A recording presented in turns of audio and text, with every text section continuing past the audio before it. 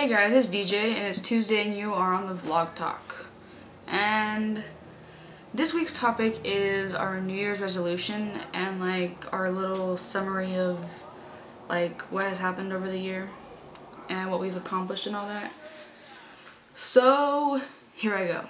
Some of the things that I have accomplished this year are I have expanded on YouTube as my talent, my audience, just I've become a better YouTuber basically and just a whole. Um, I've just done a lot of small things that I'm proud of. I just can't really like think of them off the top of my head. But yeah, I've accomplished some small stuff. And then the number one big thing that as of right now has not been accomplished but will be within this week by this Friday actually, so on Chris and Yvonne's day I will be a high school graduate. I am graduating from high school this Friday, a semester early. So, yay for me! But, um, yeah, so overall this year has been pretty good. And those are the things I've accomplished.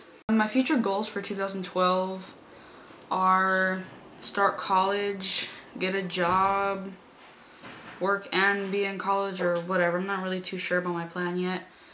Um, I'm filming my first movie, like for first feature feature length movie. Um, it's I'm starting to film in the end of December, but it'll be done within January, so I consider it a 2012 goal. So that's one of them, first feature length film. Um, get a car turn 18. Well, I mean, that's not really a goal. That's going to happen either way, but still. I'm going to turn 18. Um, yeah, that's all I can really think of for right now. Those are my main goals. I mean, it's not like it's not a lot, but yeah, those are my main goals.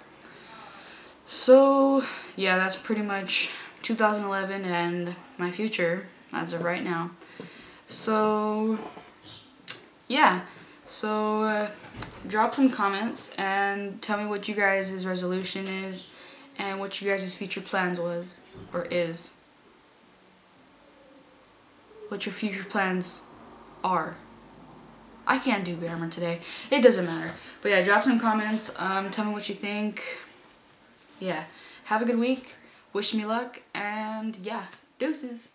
Bye.